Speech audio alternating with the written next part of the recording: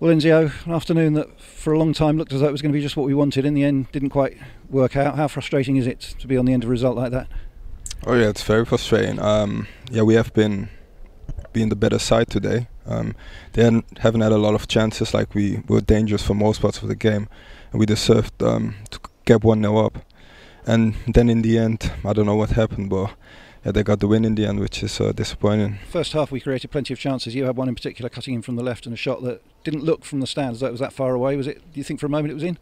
I definitely did. Thought it was going in. Um, I scored a, a, few like that before, and definitely thought it was going in. But um, no, after that we, we pushed for the for the goal, and like we got what we deserved uh, in the second half.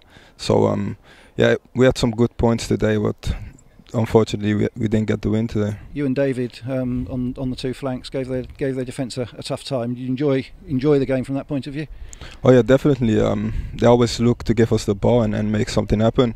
You know, it don't always work uh, work out what we do, but we keep trying. And um, yeah, everyone's backing us up. Like today, the atmosphere has been yeah perfect. You know, um, every time I get the ball, like they were shouting my name and try to get me on the ball and no, um, it's just disappointing for everyone. I just, think just disappointing for everybody, as you say, that we couldn't couldn't see it out, and even more disappointing for the second game this season that we can see one in injury time.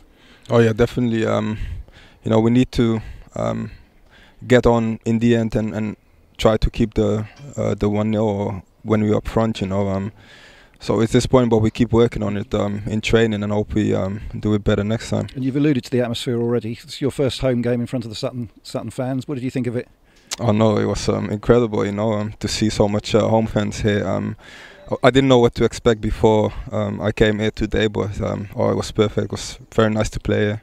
And, and good noise, and the, as I said to, to Matt, the, if there'd been a roof, it would have come off when we scored. oh, definitely.